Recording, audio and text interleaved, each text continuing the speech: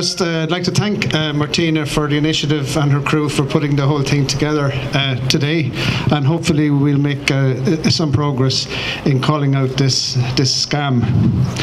Now, in the first instance, what what we're dealing with in this country with Mycam, pyrite, pyrrhotite, etc., is a humanitarian crisis. It didn't just happen. I'm going to give you a small bit of background and come back, and I'm going to bring you through it, and I'm going to offer some proposed uh, some proposals maybe for solutions. now, the problems with these deleterious materials they go back a long way. And I see uh, some of my Fianna Fáil friends here, and they're not, not going to thank me for what I have to say here. But, you know, the problem, sorry. As I said, the problem goes back 55 years, and it's down to the toxic relationship, a corrupt relationship between the construction material sector and successive governments, going back to the 60s. this this has resulted in low standards, or perhaps more accurately described as no standards, light touch regulation, and zero enforcement. And we, we will later on, we look at who should be paying the price. Because last year, our government, which is very, very good at doing over the years, divide and conquer. Last year, the, the government uh, played this ploy and tried to get ordinary taxpayers against victims. And all this thing about the big houses in Donegal and why should we as taxpayers have to go and build these mansions? They were, they were all supposed to be living in mansions. so uh, the, the, fact is we're, we're all together in this. Now, where, where I think this whole thing has gone wrong and I'm going to be very candid here because we have to be candid if we're going to make progress going forward. Uh, last June, I think it was June the 15th, there was an enormous uh, protest in Dublin, uh, mostly down to the to the incredible work of uh, Paddy Diver from Donegal. He put, he put many, many thousands of people on the streets. However, I think the people were somewhat hoodwinked because it has transpired, and I'm open to correction on this, but it has transpired that in the days prior to the 15th of June and this protest, which remember, the protest was for 100% redress. But in the days before uh, the 15th of June, apparently government agreed with certain people, uh, a few members, uh, affected members, victims, that there would be a working group. Now, working groups don't work out. We've had them. We had the beef task force when the factories were all being blocked by the farmers. The government set up the beef task force, which was all much ado about nothing. And that's exactly what's going on. I'm not taking away from the efforts of all the people that are putting in all the time. But I'm saying there's a huge naivety out there. This scheme, as they call it, is going nowhere because it can't go anywhere. Because it's not about 100% redress and never was about 100% redress. And while I'm at it, I can't understand why any of the victims, nobody that I have seen has called for compensation.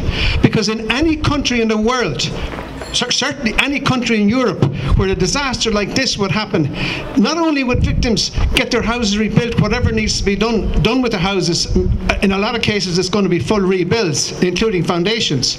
But not only that, but each and every victim is entitled to compensation. So why, what are we doing about a scheme? And you know what they're going to do next? They're going to bring in legislation. And we know about legislation. Legislation benefits the rich and it stymies the poor. You'll all be in a trap because the legislation says this and the legislation says that. You're not within a NASA's roar of getting 100% redress. This thing has to be completely re-looked at and start from the scratch. And, and, and I would say to politicians, and there's a number of politicians here, guys, girls, we've got a cop on here. These aren't cattle, these are people, these are the citizens of this country that you put up in Dáil to look after the public interest. And you're not. You're screwing them.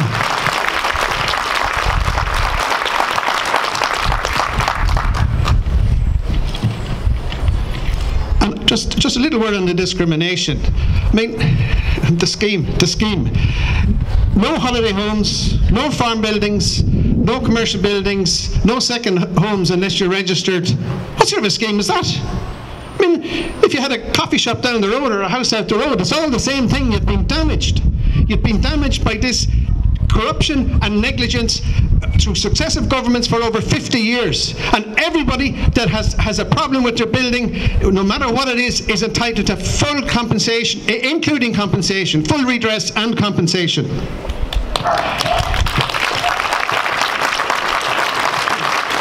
Um, the Mahon report was published, the famous Mahon um, uh, corruption report, there's a lot of very interesting stuff in it. But Mahon, uh, he said that he found a lot of politicians and business people uh, all involved in, in very serious corruption. And he, said that these guys, these guys all operated with a justified sense of impunity and invincibility. That's what legislation does. It buries the ordinary people legislation. Now,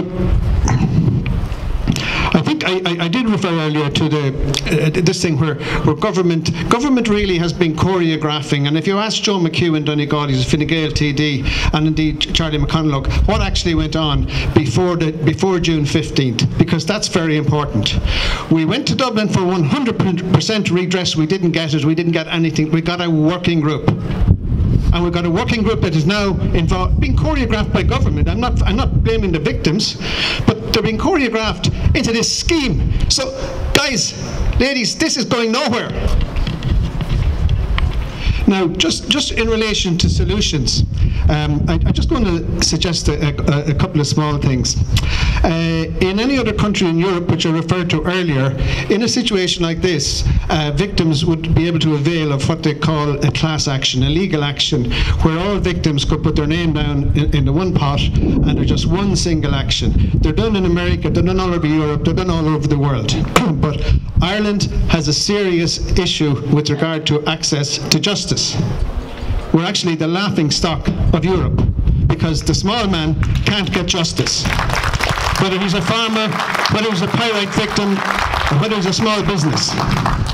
So the, the EU recognised this and they brought in a directive in 2020, Directive uh, 1828, which is on uh, representative actions. So that, that, that directive is in place and our government have to have that um, directive in force by the end of this year, by, by December 2022 and up and running by June 2023.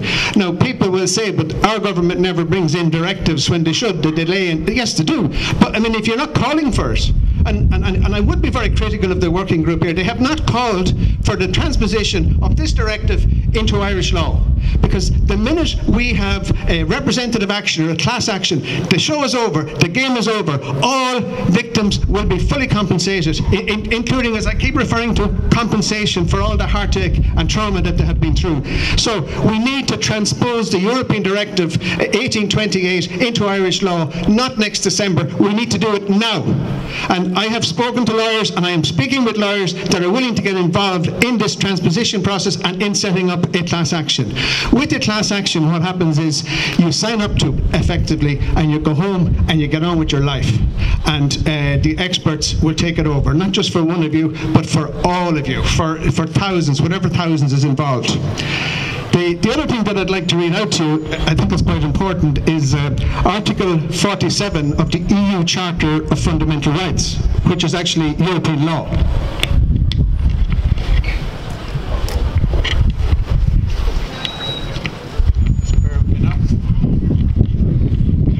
Now this is very important, it's very short. Uh, Article 47, uh, Charter of Fundamental Rights of the European Union. Everyone whose rights and freedoms guaranteed by the law of the Union are violated has the right to an effective remedy before a tribunal in compliance with the conditions laid down in this article. Everyone is entitled to a fair and public hearing within a reasonable time by an independent and impartial tribunal previously established by law, i.e. a court or a tribunal. Everyone shall have the possibility of being advised, defended and represented. Legal aid shall be made available to those who lack sufficient resources insofar as such aid is necessary to ensure effective access to justice.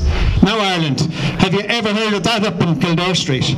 Because that's the law. That's the law of Europe. Why, why are you been run down this cattle crush into, into a scheme that's never going to work? Proposal, uh, what, what, what, I think we need to do is we need to set up a, a, a central office, a, an office that would be probably a semi-state type office to to oversee uh, civil projects in this country because we know one thing. We know the department, any of the departments can't do it. They're incompetent. We only have to look at the National Children's Hospital. It is six times over budget. Six times. It was originally budgeted at 400 million. It's now at 2.4 billion and, and rising. So that's what's going to happen. We're hearing about 2.2 billion with pyrite and, uh, pyrite and mica, etc. It's not going to be 2.2 billion if we let these people control it the way, in the way in which they're going to go. It's going to be four or five times that. It's going to be 10 billion. The government have to understand there's a huge problem here and it has to be faced up to. And it's going to cost quite a lot of money. It's not going to cost 2.2 billion. It's going to cost a hell of a lot more. But let me tell you, if you go back 10 or 12 years ago, when the poor banks, who had been acting criminally for years and years and years, when the banks went bust, it took the government hours, hours to bail them out. At 2 o'clock in the morning in someone's private house they were meeting, and the announcement was made the following morning.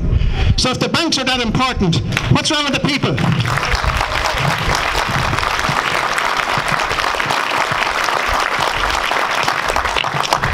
Just coming to the end, the end of it now.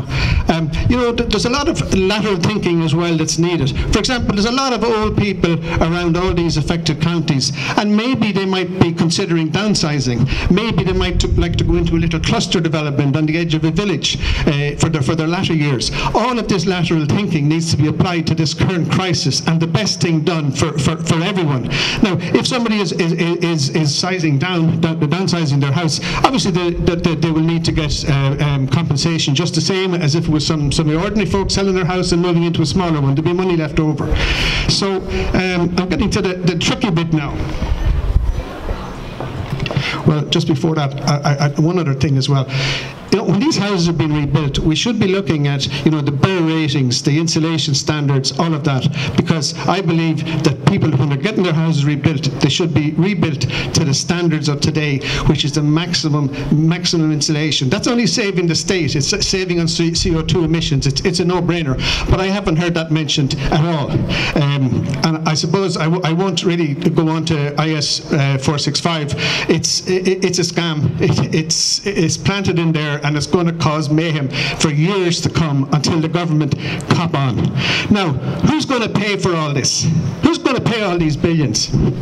Well, the primary guilty parties, the primary culprits, of course, are the quarries and their, their associates, successive governments. So the state and the quarries, they're the people who have to pay for this. Now, the insurance companies, the insurance companies seem to be getting out of this scot-free.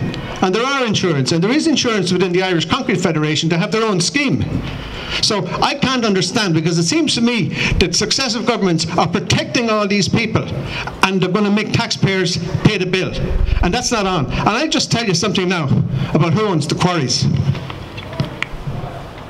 The construction materials Hello? Yeah. The construction materials sector in this country has been uh, dominated by a company called CRH PLC, which would have numerous subsidiaries like Irish Cement in Limerick and Roadstone and, and, and hundreds of other subsidiaries.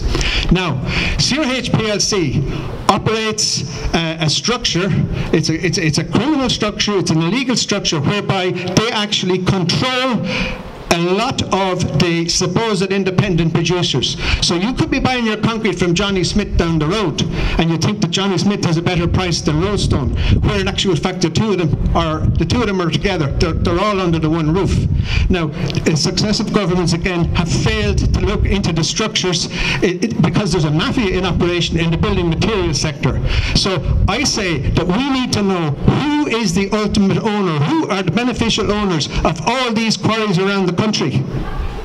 And if they have deep pockets, which you will find in a lot of cases they do, they should be made to pay. So that's really all I have to say. Thank you very much, folks.